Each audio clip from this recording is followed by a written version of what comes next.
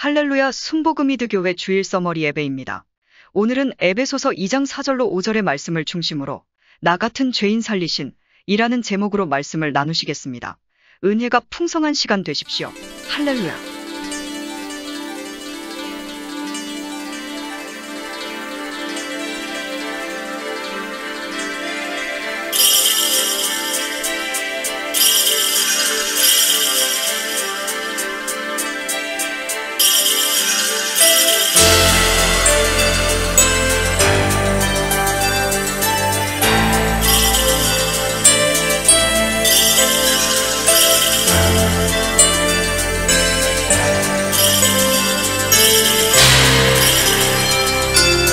할렐루야 사랑하는 성도 여러분 오늘은 참으로 좋은 날입니다. 오늘 저는 에베소서 2장 4절로 5절의 말씀을 중심으로 나 같은 죄인 살리신 이라는 제목으로 하나님의 말씀을 나누고자 합니다. 군에서 중대장으로 예편한 남편은 사업을 하다가 사업장의 어려움이 더해져 사업장을 접고 친척의 도움으로 운수회사에 취직했습니다. 어느 날 남편은 일을 마치고 밤 10시가 넘어 스쿠터를 타고 집으로 돌아오고 있었습니다. 집 근처 사거리를 지나던 남편은 고척동 방향에서 오던 음주운전 차량과 정면으로 부닥치고 과속에 밀려가면서 그 자리에서 10m를 끌려갔습니다. 골반이 깨지고 머리와 다리를 크게 다친 남편은 급히 병원으로 호송되었습니다. 다리 살점은 다 떨어져 나갔고 뼈만 앙상하게 달려 있었습니다. 문제는 머리였습니다. 검사 결과 남편의 뇌 두 군데가 새까맣게 변했으며 충격으로 머리가 부풀어 있다는 것이었습니다. 병원에서는 남편의 의식이 전혀 없으며 살아날 가망은 희박하다고 통보해 주었습니다. 하지만 나는 살 수 있다, 고쳐진다고 말했습니다. 하지만 병원의 반응은 냉랭하기만 했습니다. 사고 후 뇌사 상태로 두 달 넘게 중환자실에 누워있는 남편에게는 변화가 전혀 없었습니다. 의식이 없어 피부 이식 수술도 불가능했습니다. 가끔 의사들이 의식 없이 누워있는 남편의 젖꼭지를 비틀며 반응을 확인할 뿐이었습니다. 그래도 나는 포기하지 않고 하나님께 남편을 살려달라고 기도했습니다. 그러던 중 70여일이 지났을 때 남편의 상태를 체크하는데 남편이 갑자기 어눌한 말투로 아프라고 말하는 것이었습니다. 살아날 가망이 없다던 남편의 의식이 순간적으로 돌아온 것이었습니다. 하지만 남편은 나와 시선을 맞추려 하지 않았고 자꾸만 허공을 바라봤습니다. 탁자 위에 올려져 있는 주전자를 가리키며 무엇이냐고 묻자 이름이 없어요 하며 엉뚱한 말만 하는 것이었습니다. 이상하다 생각하여 의사에게 물었습니다. 그러자 의사의 말이 뇌 손상으로 기억을 상실했고 현재 상태가 3살 아이의 뇌의식 수준이라고 말해 주었습니다. 깨어나면 모든 것이 정상적으로 돌아올 줄만 알았던 남편이 기억 상실증이라니 도저히 믿을 수 없었습니다. 나를 보고 엄마라고 부르며 모든 것을 달라고 떼쓰는 남편을 그저 손 놓고 볼 수만은 없었습니다. 나는 정성을 다해 숫자를 가르치며 아이들의 이름을 알려주었습니다. 어떻게든 기억을 되찾아주고 싶었습니다. 하루는 병실에 누워있는 남편 복부에 핫팩을 올려주고 화장실에 갔습니다. 순간 누군가 나를 찾는 큰 소리가 들렸습니다. 남편 옆에 있던 환자의 보호자가 다급히 외치는 소리였습니다. 놀라서 황급히 뛰어가 보니 남편이 핫팩 봉지의 뚜껑을 열어 그 안에 들어있던 뜨거운 물이 침대 시트와 남편의 엉덩이 쪽으로 쏟아져 내리고 있었습니다. 얼른 남편을 옮기고 보니 놀랍게도 사고로 인한 화상은 전혀 없었습니다. 그런데 갑자기 남편이 여전히 어눌한 말투로 하나님 아버지가 피하라 하셨어 라고 말하는 것이었습니다. 그리고 이어 하나님 살려주셔서 고맙습니다 라고 기도를 하는 것이었습니다. 내가 교회 다니는 것을 그렇게 핍박하며 성경책을 쓰레기통에 내던지던 남편의 입에서 어눌한 기도가 터져 나오는 순간이었습니다. 나는 놀라지 않을 수 없었습니다. 남편은 기도 후 나에게 하나님은 나에게 피하라고 하셨고 그 옆에 있는 나쁜 사람은 나를 보고 박수치며 기뻐했다며 계속 오르막도 내리막도 힘들지 않게 지켜달라고 기도하는 것이었습니다. 그 순간 나는 하나님께서 남편을 지켜주고 계신다는 확신이 들었습니다. 그 뒤 병원 생활은 2년 가까이 계속되었습니다. 수입도 없었고 막내 아이는 시골 친정집에 맡겨졌으며 위로 두 아들은 제대로 돌볼 틈도 없이 모두들 힘든 생활을 이어갔습니다. 그러한 중에 생각지도 않았던 도움의 손길도 있었습니다.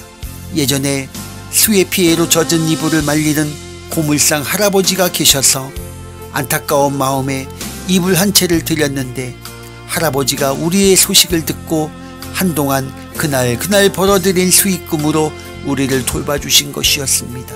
그때 나는 하나님의 명령을 따라 이웃을 위해 베풀면 반드시 나에게 복이 돌아온다는 것을 깨달았습니다. 그렇게 6년이 흐른 어느 날 남편은 동생의 이름을 시작으로 청년기 시절 월남 전쟁에서의 기억을 되찾아갔고 지금은 기억의 90%를 회복해 믿음 안에서 건강한 삶을 살고 있습니다. 살 가망조차 없다던 남편이 살아있고 지금 내 옆에 있는 것을 볼 때면 모든 것이 기적이라고밖에 말할 수 없습니다. 어려움을 당할 때 희망을 주시고 힘들 때 위로를 주신 우리 하나님께 깊은 감사와 모든 찬송을 올려드립니다. 나는 신장이 좋지 않아 늘 몸이 부어 있었습니다. 신장뿐 아니라 원인 모를 고통도 늘 나를 괴롭혔습니다. 지금은 서른이 넘은 딸 미란이가 아홉 살 때였습니다. 하루는 미란이가 죄가 많으면 교회에 못 간다는데 엄마는 무슨 죄를 지어 교회에 못 가느냐고 물었습니다. 평소 같으면 관심도 없었을 말인데 그날따라 내 가슴을 찡하게 했습니다.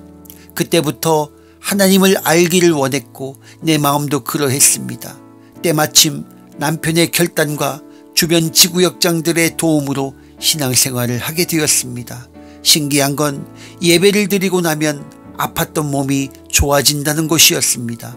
몸이 부어 남자 슬리퍼를 신고 남편과 딸의 부축을 받아야만 교회에 올 수 있었지만 예배를 드릴 수 있다는 것이 언제나 행복했습니다.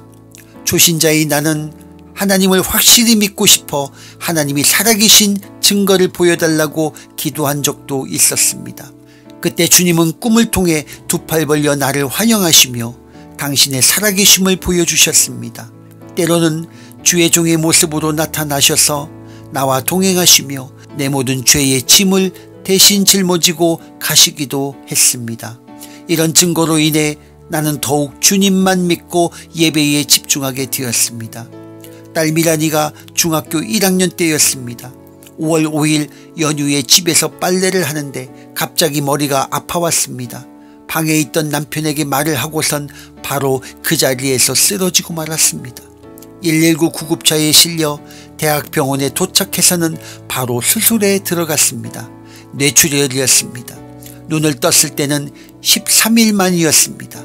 내가 깨어났을 때 의사 선생님은 살아난 것이 기적이라고 했습니다. 그런데 후 신경이 눌렸는지 어지러움증이 생겨나 길을 똑바로 걷는 것이 어려웠습니다. 순간 내 마음에 빨간 구역장 가방을 들고 다니면 살 것 같은 믿음이 들기 시작했습니다. 그래서 치유의 하나님을 바라보고 간구하고 또 간구했습니다. 지금은 깨끗이 나아 누구의 부축도 없이 교회를 편히 올 수 있게 되었습니다. 그저 모든 것이 감사할 뿐입니다. 늘 감사하며 살아가던 우리에게 놀라운 기적이 또다시 일어났습니다. 지난해 건강검진으로 뇌사진을 찍어본 남편은 혈관이 좁아지고 있다는 사실을 처음으로 알게 되었습니다. 남편이 머리가 아프다는 얘기를 종종 했지만 상황이 이런 줄 몰랐습니다. 뇌경색을 우려해 혈관 확장 수술이 그나마 해결책이었지만 수술하기엔 시기적으로 늦었다는 것이 의사의 소견이었습니다. 다행히 뒷머리 목 위로 작은 혈관들이 장가지처럼 나 있어 작은 혈관들의 도움으로 큰 위험은 면할 수 있었다고 의사는 말해 주었습니다. 우리 가족 모두는 뇌출혈로 쓰러졌을 때 나를 살려주신 하나님을 기억하고 주님께 간절히 기도했습니다. 그리고 1년이 지나 다시 병원을 찾았다가 우리는 놀라운 소식을 접하게 됐습니다. 남편의 뒷목덜미에 작게 뻗어 있던 혈관 중 하나가 뼈를 뚫고 굵고 튼튼하게 자라 머리에 피를 공급하고 있다는 것이었습니다. 의사는 깜짝 놀랐다며 의사인 내가 수술을 한다 해도 이처럼 정교하게 만들 순 없을 것입니다. 라며 이건 기적이다라고 말했습니다. 그 혈관이 남편의 머리에 충분한 혈액을 공급해서 문제없이 지낼 수 있었던 것이었습니다. 이처럼 하나님은 살아서 우리를 위해 일하고 계셨습니다. 이것이 주님의 은혜가 아니고 무엇이겠습니까? 하나님은 좋으신 하나님입니다. 남편과 딸 그리고 나는 이러한 하나님을 믿고 늘 감사하며 하나님을 섬기고 있습니다. 이 놀라운 은혜의 복음을 내 이웃에게도 전하고자 열심을 다하고 있습니다. 할렐루야. 두 분의 간증을 통하여 우리는 살아계신 하나님을 볼 수 있었습니다. 지금 이 순간에도 우리 주님은 우리와 함께하고 계십니다. 그리고 모든 일에 드라마를 연출하는 감독처럼 아름다운 해피엔딩의 드라마를 위해 일하고 계시는 줄로 믿습니다. 사랑의 주님 감사합니다. 우리를 지으신 하나님을 찬양합니다. 우리는 사나 죽으나 영원토록 주님의 것입니다. 세상 끝날까지 주님을 찬양하며 산다는 것 그것만으로도 우리는 행복합니다. 지금 이 순간에도 우리를 불꽃 같은 눈동자로 보호하시고 우리의 걸음을 인도해 주시는 줄 믿습니다. 어떠한 고난과 역경 속에서도 우리 주님을 전심으로 의지하는 주의 백성들에게 하나님께서는 그 크신 영광을 나타내실 줄로 믿습니다. 우리의 인생 속에서 우리의 갈 길을 인도하시는 하나님, 우리가 주님을 떠나지 않도록 하시고 마지막 날까지 우리와 동행하여 주옵소서 예수님의 거룩하신 이름으로 기도드립니다. 아멘.